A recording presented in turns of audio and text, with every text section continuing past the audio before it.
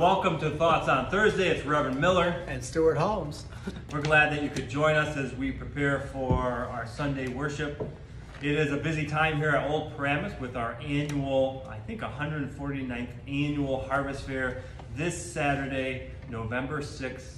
We open the doors at 10 a.m. and we close the doors at 4 p.m. If you're looking for treasures, come join us. On the 7th will be All Saints Sunday. So November 1st is All Saints Day. We celebrate All Saints Day on Sunday, so it's All Saints Sunday.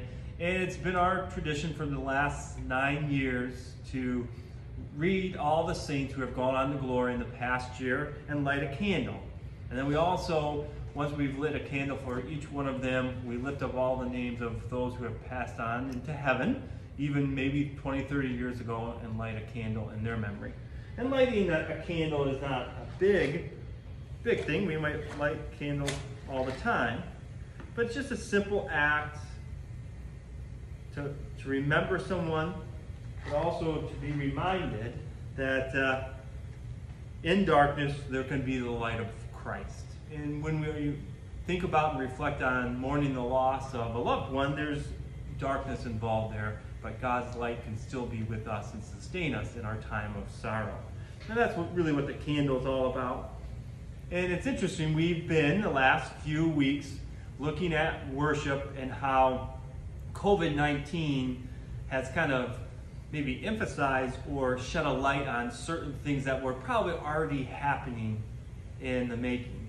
And one of those things I want to talk today about is that speaking of All Saints Day and the feeling of loss, the church has been declining not just Old Paramus, but the whole Christian church in the United States and really in North America. And they did a, a study that has just come out, but really the findings, the findings came out now, but the uh, polling happened before. But prior to last year, the last few years, so to speak, there was always more people in the United States who were, went to a house of worship, Christian, Muslim, Jewish, uh, Buddhist, Hindu on a regular basis. They went more than once or twice per year. And it was about 54% to about 45%. In the last few years, that has flipped. So 54% of the people do not go to a house of worship on a regular basis or more than twice a year.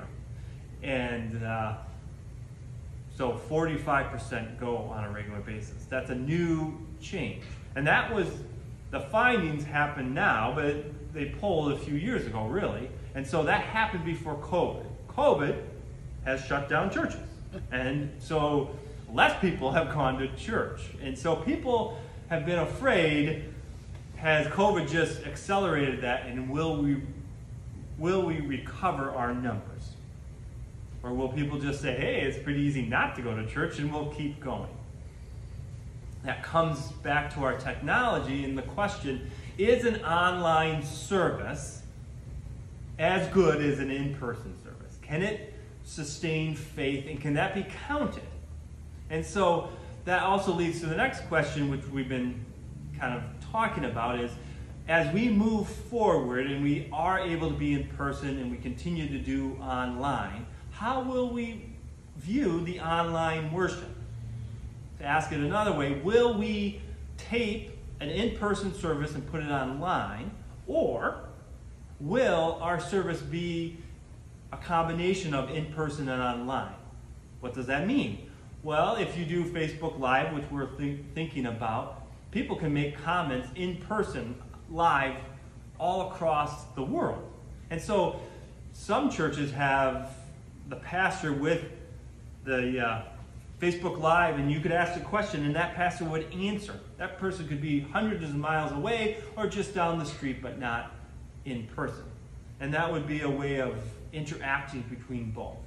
But it also goes to the idea of what does a worship service look like? It might look different if you're watching it online, and are we going to accommodate that and then maybe even sacrifice some of the in person?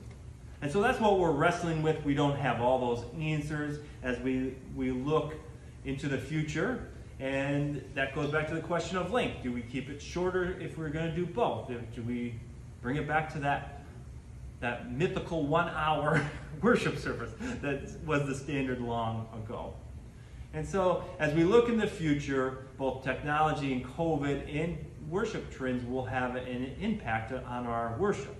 And I'll make a little plug for us here at Old Paramus in a month, a week and a half, I guess, on November 14th, we're going to be having a discussion after worship where we re- look at can we rearrange this organ pulpit area to better accommodate both a video and also the choir if we have to distance because of COVID. And so we're looking at what it would look like maybe in the future. So not only am I asking questions, we're trying to answer those and we're doing that really as a community. So if you're part of Old Paramus, make sure to come on November 14th to be a part of that discussion. I keep trying to go longer than Stuart, so I just keep talking, but now it's Stuart's time to... Time! now you're talking about uh, re-looking at this space. We're um, we were talking before we started to tape about this is kind of a unique situation here. The choir is in this box uh, that is surrounded by walls, um, and it, it kind of restricts how we're going to be able to move or sit. Uh, the choir coming back in a couple weeks, we hope. Uh, you know, people are nervous, and uh, being able to sit um, in a COVID uh, in a positive way so that they don't get nervous about COVID uh, is, is a challenge. And uh, it's important to understand that uh, people really want to come back to, the choir members really want to come back to sing. In fact, our congregation, as you pointed out before, um, wants the choir back too. But it's easier said than done. And, and uh, it's difficult to uh, kind of work through that and figure out how we're going to do this um, at least until COVID is no longer part of our lexicon. And that's, I mean, it's overused, uh, that phrase, the new normal. Yeah. There's a desire to always go back to the way we used to have it, and we appreciate. As we move and make choices, we won't be going back to the way we were because not everyone's ready to come back and sing. So, you know, hypothetically, you, Stuart, could have a choir of all baritones. They're the only ones who want to come back. You know, some of the things we had before will be missing. And there's a sense of kind of working with that. Getting into it, right. Yes. Right. And seeing, and, and as even we've discovered doing this, we've learned more about technology, and sometimes it doesn't work. We're going to discover as even we come in person, some things will work and some things won't. We have to adjust. So adjustments will always have to be made, maybe forever. yeah. Who knows? Who knows? So music this Sunday, um, putting this this whole discussion of, of uh, COVID-related items. Music this Sunday, I started out playing uh, Flor Peeters' uh, For All the Saints. It's a variation. Uh, everybody not everybody, a lot of people think that if we're all the saints, you should should have a great big, oh, this is a saint of the church and everything. Flor Peeters, who's a uh, uh, Belgium composer, uh, comes up with this beautiful lilting melody that um, that kind of rolls through and kind of in a uh, meditative way. So that's the prelude. Postlude today, last Sunday, I played uh, uh, before the service, before the service started, I played Bach's uh, toccata and fugue in uh, D minor. Everybody knows that from. Uh, but uh, Bach paired that toccata, which means a freestyle, basically, lots of runs and uh, uh, passages with arpeggios. Uh, he paired that with a fugue. That was a common practice in Bach's day. Uh, he often paired prelude and post and uh, fugue together. So you had the prelude and fugue and whatever. Uh, that fugue was much more regimented. It was the uh, the Dutch approach to this is the way you should do it. Uh, fugue, uh, the, the um, restrictions on on where you go and, and how you get there are, are pretty well set. Uh, that doesn't mean that he doesn't take a piece out of the prelude, uh, or the in our case the toccata. So you had as, as a beginning, and then you have the fugue, which is, as I said, much more regimented.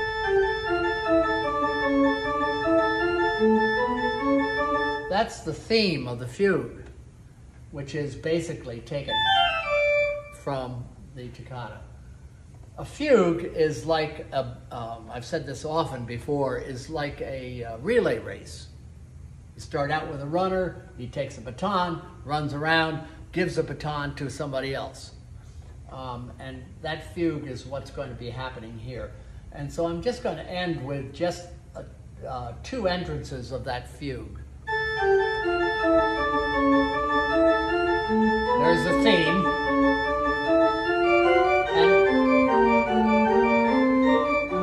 and the other voice begins and takes up that fugue. So um, he's done a marvelous thing. The last, uh, with this toccata and fugue, the last thing I want to say is uh, there is some discussion among musicologists that, that the uh, toccata and fugue in D minor wasn't really Bach. There's no proof. We don't have a manuscript from Bach on this. Um, if it was from Bach, and I think the prevailing feeling is yes, um, but it had to be very early Bach. And um, his fugue is very clear. I even use it to teach kids what a fugue is because it's so clear when those voices come in. Um, but it's an exciting piece to play. So that's the postlude for All today, right. the other half of the Bach. So perfect. And I, I even do this, I will confess, we often don't even include the fugue in the name. Oh, you're playing the toccata, but it's Right. the toccata and fugue. Right, it would be to, it's really a toccata and fugue. Yes, but a lot of times people just, the fugue doesn't get uh, a lot of props. Yeah, and it's harder to listen to and harder to play. Okay. And I'm going to end with um, the very ending of that fugue, which goes back to the idea of the uh, toccata, which is unusual for, for a toccata and fugue. Bach didn't do that a lot. All right. Well, thank you for joining us on Thoughts on Thursday. We hope to see you either or both November 6th for the Harvest Fair or November 7th for our All Saints Day Sunday worship at 10 a.m. Thanks and have a great day.